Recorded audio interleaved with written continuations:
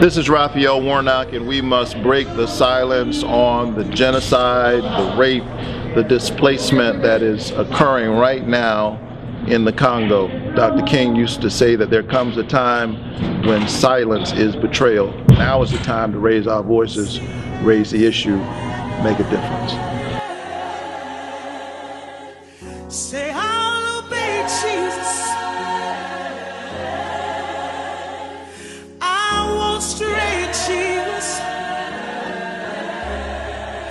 but this time I made